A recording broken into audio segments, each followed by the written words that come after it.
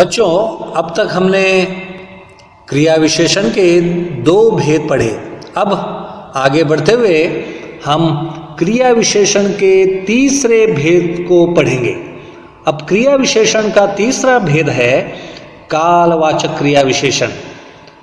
तीसरा भेद है कालवाचक क्रिया विशेषण। बच्चों, मैंने आपको जैसे इसके पूर्व बताया है, आपको इसके भेद उसकी परिभाषा के साथ क्लास वर्क में लिखने हैं। अब पहले बच्चों, हम लोग एज यूजुअल इसकी परिभाषा पढ़ेंगे, व्याख्या पढ़ेंगे इसकी। इसकी व्याख्या इस प्रकार है, जो क्रिया शब्द क्रिया के घटित स्थान या करने के समय का बोध कराते हैं, उन्हें कालवाचक क्रिया विशेषण कहते हैं। मैं दोबारा दोहरा रहा हूँ बच्चों। जो क्रिया शब्द क्रिया के घटित स्थान या करने के समय का बोध कराते हैं, उन्हें कालवाचक क्रिया विशेषण कहते हैं। अब यहाँ पर बच्चों, इस कालवाचक क्रिया विशेषण के नाम में ही इसका अर्थ छिपा हुआ आपको नज़र आएगा। अब काल काल का अर्थ क्या होता है बच्चों? आप में से बहुतांशी विद्यार्थियों को इसका अर्थ पता होगा, काल काल यानी समय, वक्त, टाइम। अब यहाँ पर इस शब्द में ही अर्थ छिपा हुआ है कालवाचक वाचक यानी उसका बोध कराने वाला।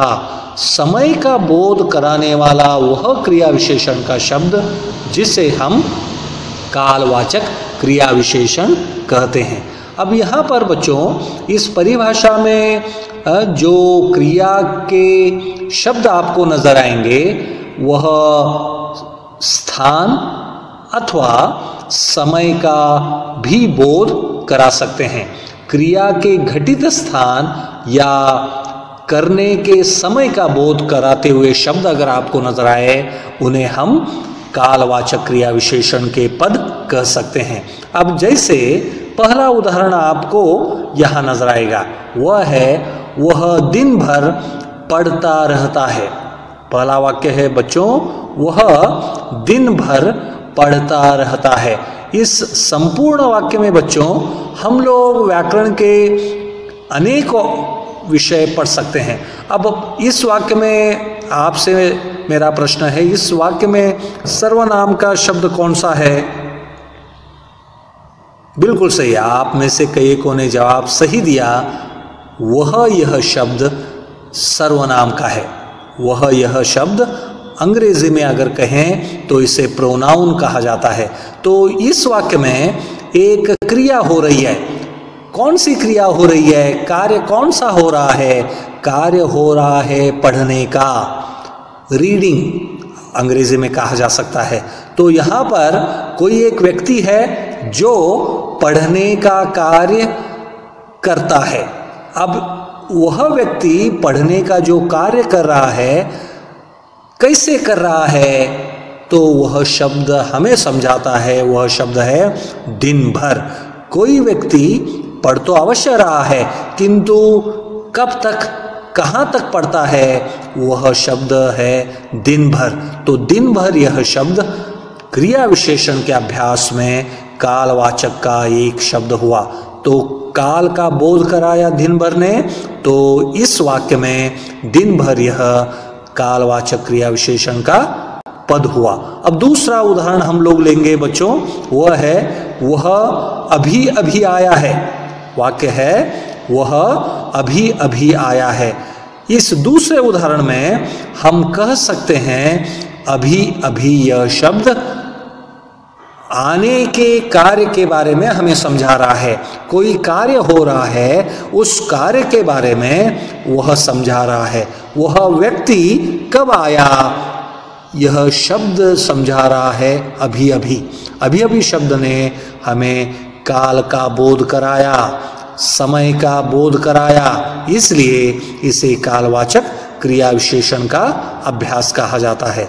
अब तीसरे उदाहरण की ओर हम लोग चलें, वह है, राजू हर रोज आराम करता है। राजू हर रोज आराम करता है। इस संपूर्ण वाक्य में बच्चों, प्रथम जो शब्द है, वह व्याकरण में सर्वनाम के साथ साथ ऊपर के वाक्य में हमने देखा, सर्वनाम का शब्द आया था वह। अब इस वाक्य में राजू यह एक नाम का शब्द है, नाउन। राजू आराम करता है, यह वाक्य सर्वसामान्य हो सकता है।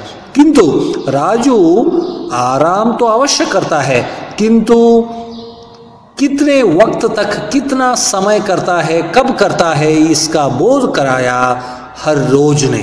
तो हर रोज इन शब्दों ने आपको काल का, समय का बोध कराया। इसलिए हर रोज यह कालवाचक क्रिया विशेषण का भेद हुआ।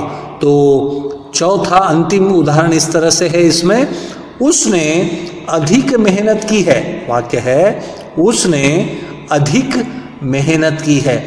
कोई एक व्यक्ति है उसने मेहनत की है। अब अधिक जो शब्द है, वह आपको उस काल का बोध करा रहा है। अधिक यह शब्द आपको उस व्यक्ति के मेहनत के बारे में जानकारी दे रहा है। उसने कितनी मेहनत की? उसने अधिक मेहनत की। तो अधिक यह अभ्यास अथवा यह शब्द कालवाचक क्रिया विशेषण का कहलाता है। तो बच्चों, आपने अब तक तीन भेद पढ़े तीसरा भेद रहा कालवाचक क्रिया विशेषण। उसकी परिभाषा पढ़ी, उसके चार उदाहरण भी पढ़े। अब पहले वाक्य में आपने देखा दिन भर यह शब्द कालवाचक का रहा। दूसरे में अभी अभी यह शब्द कालवाचक का भेद रहा। तीसरे में हर रोज यह कालवाचक का बोध कराने वाला शब्द रहा और चौथे में अधिक यह शब्द कालवाचक का रहा। तो इस प्रकार हम कह सकते हैं कालवाचक क्रिया विशेषण के उदाहरण इस प्रकार वाक्य में छिपे होते हैं। हमें विभिन्न उदाहरणों के ज़रिए इसका अभ्यास करना चाहिए, जिससे कि हम अच्छी तरह से इसका अभ्यास पढ़ पाएँ और समझ पाएँ। बच्चों, आज हम क्रिया विशेषण से आगे बढ़ेंगे। चौथा भेद। क्रिया विशेषण का चौथा भेद हम आज पढ़ने जा रहे हैं। तो चौथा भेद है परिमाणवाचक क्रिया विशेषण। चौथा भेद है परिमाणवाचक क्रिया विशेषण। अब, जैसे हमने प्रथम जो भी भेद पढ़े उनमें अर्थ उसका समझा? उसी प्रकार इसका भी अर्थ समझे। इसके नाम में ही इसका अर्थ छिपा हुआ है। परिमाण प्लस वाचक। इसका शब्द भेद इस तरह से होता है, देखिएगा। परिमाण प्लस वाचक। जो शब्द परिमाण का बोध कराए, वह क्रिया विशेषण। जो शब्द परिमाण का बोध कराए, वह शब्द क्रिया विशेषण। इसे ही परिमाणवाचक क्रिया विशेषण कहा जाता है। अब परिभाषा पढ़ेंगे बच्चों, प्रथम आप ध्यान दीजिएगा परिभाषा पर। परिभाषा इस प्रकार है, जो विशेषण किसी वस्तु की नाप, तोल या मात्रा का बोध कराते हैं, वे परिमाणवाचक क्रिया विशेषण कहलाते हैं। जो विशेषण किसी वस्तु की नाप, तोल या मात्रा का बोध कराते हैं वे परिमाणवाचक क्रिया विशेषण कहलाते हैं।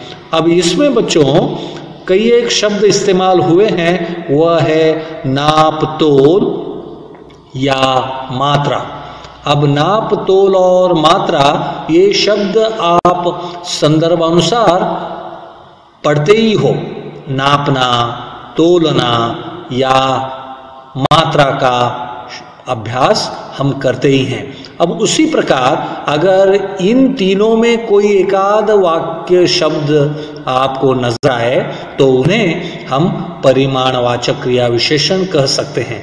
अब जैसे अब जैसे कहते ही आपको पता है बच्चों कि उदाहरण पढ़ने का वक्त है, उदाहरणों के साथ इसे हम समझेंगे।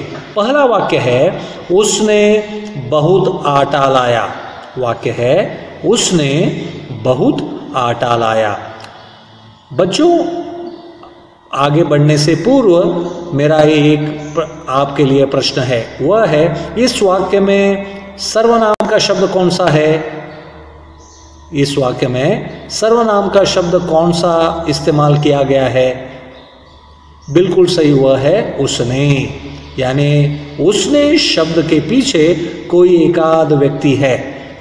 किसी एक व्यक्ति ने आटा लाने का कार्य किया है। अब जो आटा उसने लाया है, वह कितने पैमाने पर लाया है, वह शब्द हमें समझा रहा है, वह है बहुत। किसी एक व्यक्ति ने आटा तो लाया, किंतु कितनी मात्रा में लाया, यह शब्द है बहुत। बहुत शब्द ने आपको समझाया कि उसने बहुत आटा लाया। अब दूसरा वाक्य हम लोग लेंगे, वह है, पहलवान ने लीटर भर दूध पिया। दूसरा वाक्य है, पहलवान ने लीटर भर दूध पिया।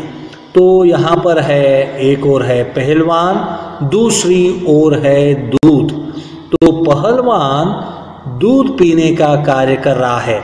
अब पहलवान जो है, वह जो दूध पी रहा है, कितनी मात्रा में दूध उसने पिया, यह हमें लीटर यह शब्द समझा रहा है। पहलवान ने तो दूध पी लिया, किंतु कितना दूध पिया, यह लीटर यह पद हमें समझा रहा है। तो व्याकरण के अभ्यास में लीटर भर यह शब्द परिमाणवाचक क्रिया विशेषण का पद हुआ। इस लीटर भर ने हमें समझाया कि किसी एक व्यक्ति ने किसी एक पहलवान ने दूध तो पिया, वह कितना पिया तो वह है लीटर भर। बच्चों, आपको ये अभ्यास समझ में आ रहा हो? तो इस तरह से हम इसे पढ़ सकते हैं। अब तीसरे उदाहरण की ओर हम लोग मुड़ेंगे। वह है, मोहन ने दुकान से कम चीज़ें लाई। वाक्य है, मोहन ने दुकान से कम चीज़ें लाई। अब मोहन, आपको पता ही है बच्चों, मोहन व्याकरण में संज्ञा का शब्द है। मोहन ने दुकान से कई एक चीज़ें लाई हैं वह कितनी लाई, यह शब्द कम यह हमें बता रहा है। मोहन ने जो दुकान से चीज़ें लाई हैं वह कितनी लाई, कम यह शब्द हमें संबोधित कर रहा है अथवा समझा रहा है। इसलिए व्याकरण अभ्यास में, क्रिया विशेषण के इस अभ्यास में कम यह शब्द परिमाणवाचक का शब्द कहलाता है, क्योंकि इस शब्द ने आपको मात्रा का बोध करवाया। मोहन ने कितनी चीज़ें लाई यह समझाया, इसलिए कम यह परिमाण का पद हुआ। अब चौथे उदाहरण की ओर चलेंगे बच्चों। वह है, मेरा मित्र बहुत पढ़ाई करता है। वाक्य है, मेरा मित्र बहुत पढ़ाई करता है। इस वाक्य में बच्चों, मेरा यह आपको पता ही है, मेरा यह सर्वनाम का शब्द हुआ। इस मित्र ने पढ़ाई की है। कितनी पढ़ाई की है? कितनी पढ़ाई वह करता है? तो शब्द है बहुत।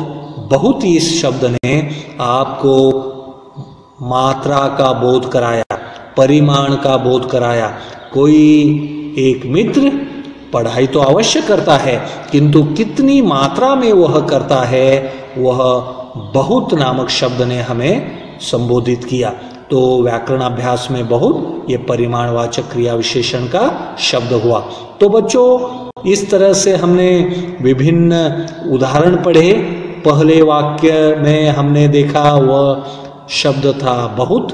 दूसरे वाक्य में हमने देखा परिमाणवाचक क्रिया विशेषण का शब्द रहा लीटर भर।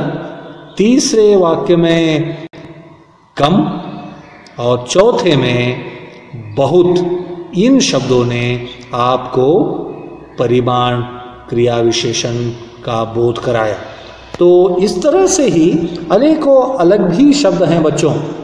अगर वाक्य के दौरान आपको ये पढ़ने मिले तो तुरंत आप समझ जाइए कि यह वाक्य जो है, इस वाक्य में इस्तेमाल हुए ये जो निम्न शब्द मैं आपके सामने पढ़ रहा हूँ, अगर आपको नज़र आए तो तुरंत लिख दीजिए अथवा बताइएगा कि ये परिमाणवाचक क्रिया विशेषण के शब्द हैं। अब वे कौन से हैं? थोड़ा थोड़ा थोड़ा थोड़ा, अत्यंत अत्यंत, अधिक अधिक, अल्प अल्प, केवल केवल प्रायः प्रायः अनुमानतः अनुमानतः ये आदि शब्द आपको अगर वाक्य में पढ़ने मिले तो उन्हें रेखांकित करके आप बता सकते हो, समझा सकते हो कि ये परिमाणवाचक क्रिया विशेषण के शब्द हैं। बच्चों तो हमने अब तक व्याकरण का एक अध्याय जिसका नाम रहा क्रिया विशेषण, उसका अभ्यास किया। अब आगे बढ़ने का वक्त है बच्चों, अब अभ्यास का वक्त है। अब हम लोग अपनी क्लास वर्क में इस क्रिया विशेषण से जुड़े हुए अभ्यास के विभिन्न उदाहरण अभ्यास के तौर पर लिखेंगे। अब आपको करना क्या है बच्चों? मैं आपको समझाता हूँ। कि आप अपनी क्लास वर्क खोलेंगे? और क्लास वर्क में ये प्रश्न और उसके साथ जुड़े हुए विभिन्न उदाहरण लिखेंगे। तो प्रश्न मैं आपके लिए एक नहीं, दो बार दोहराता हूँ और उससे सूचना अनुसार आपको अपनी क्लास वर्क में प्रश्न और उत्तर दोनों लिखने हैं। अब प्रश्न इस प्रकार है, बच्चों। निम्नलिखित वाक्यों में से क्रिया विशेषण रेखांकित करके उनके भेद लिखिए। अब प्रश्न इस तरह से है।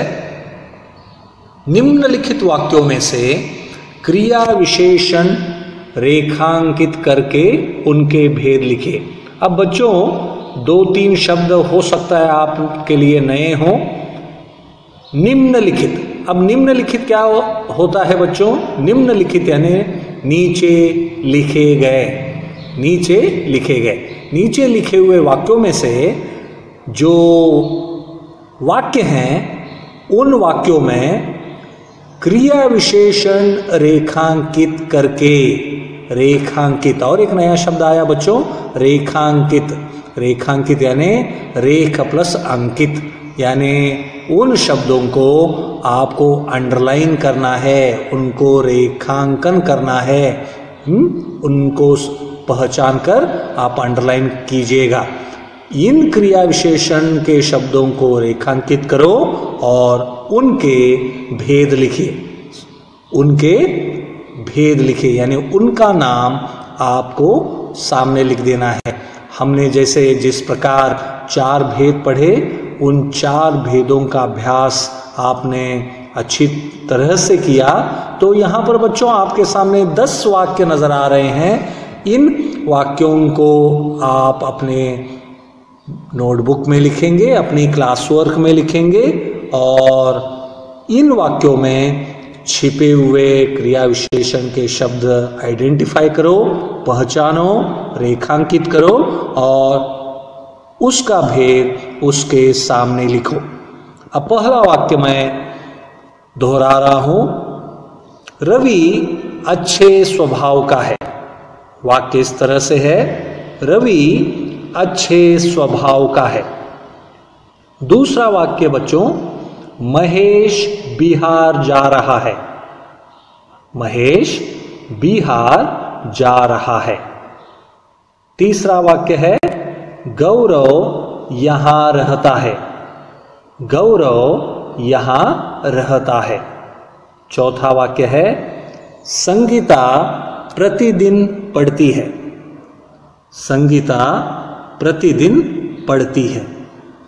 पांचवा वाक्य है, पक्षी, पंख फड़फड़ाते उड़ गए। पक्षी, पंख फड़फड़ाते उड़ गए। छठा वाक्य है, नेहा मीठा बोलती है। नेहा मीठा बोलती है। सातवां वाक्य है खिलाड़ी दौड़ते दौड़ते गिर गया। सांतवा वाक्य है, खिलाड़ी दौड़ते दौड़ते गिर गया। आठवां वाक्य है, वाहन अचानक रुक गया। वाहन अचानक रुक गया। नौवा वाक्य है, बाघ गुफा के अंदर है।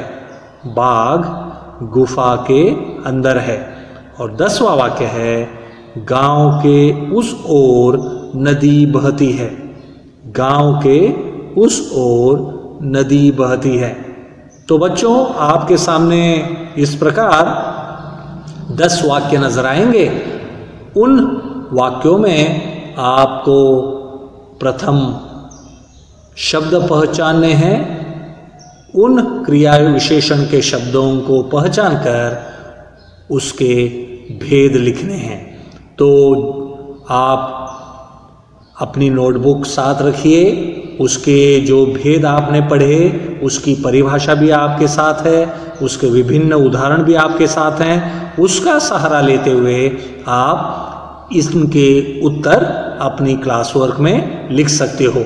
जितने ज़्यादा उदाहरण आप पढ़ेंगे बच्चों, उतना ही अच्छा अभ्यास आप आने वाले दिनों में कर सकोगे। आप उतनी ही अच्छी हिंदी बोल, पढ़ और लिख पाएँगे बच्चों। इस प्रकार बच्चों, हमने आज तक क्रिया विशेषण और उसके भेद, उसके विभिन्न उदाहरण पढ़े। धन्यवाद।